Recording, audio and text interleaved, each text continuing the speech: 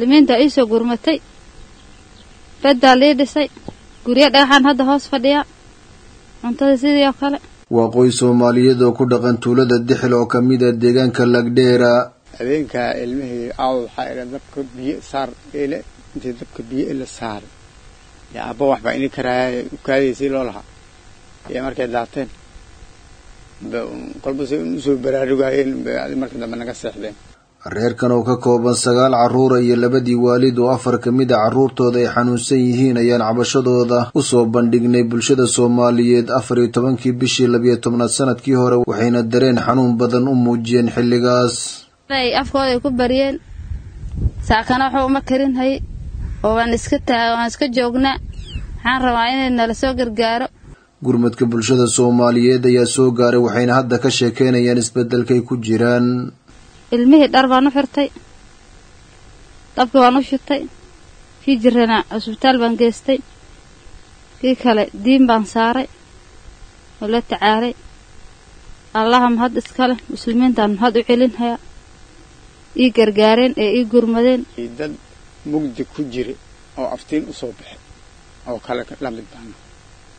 Maanta ilaahay baa mahad iskale waa kan guryahanaa naloo dhisay jooh baa naloo dhisay barkadii baa hadda oo qabyi oo hadda la dhisayaa alxamdulilah ilaahay. Waa dadkii xoolahooda ay abaartu dhaafisa waxayna ku noolaayeen meel bannaan oon guri lahayn xilligaas. Haddase waxaa loo dhisay laba qol oo dhagaxa musqul barkadii kaydka biyaha gogol iyo raashinna taajir ayay ka noqdeen. Cunto noocay tahan u karinaya ilaahay baa mahad iskale wax alla waxay maanta u karinayna dukaan oga soo qaada guryaa loo dhisay biyaan ku rafaadsanayo biyaan iskaga soo shubtay. Oon iska soo darsanhayaa ilaahay baa mahad iska leh. Barkad musquul waa loo hagaajinhayaa musquusha waa loo hagaajiya. Barkaddaa iiga dhiman. Ilaahay baa mahad iska leh. Gurigii hoolka waa ka on hoos fadhiyo. Oo dhagax ah oon hadda aan gelahayaa oon ka soo bixahayaa muslimiinta.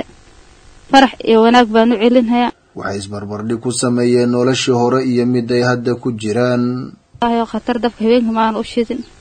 Biyo madow baan dabka u saarna habeenka ku caawinayno aan lahayn bal joog wax baan nii karahayaa oo sida ay ku seexdeen. Waxaan ku mahad celinayaa ninkii wariyaha ahaa ee kabta noogu imaaday warkiisi intuu duubay warkaayna qaaday.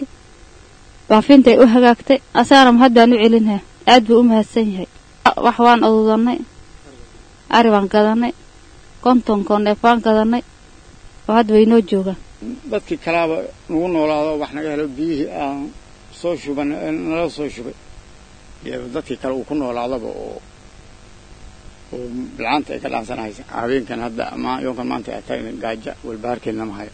Ilaahay baa mahadda shukri iskale hoolaga konton neef oo ariga gatay konton neef oo ariga gatay alxamdulilah inkastoo qoyskan soomaaliyeed maalmo ka hor noloshooda ay khatar ahayd islamarkaana macaluul gaajo iyo silac daran ka muuqday haddana gurmadka ummadda soomaaliyeed ayaa ka dhigay kuwo faraxsan islamarkaana nolosha way ka fiican tahay. Maalmo ka hor siday xaaladdu ahayd.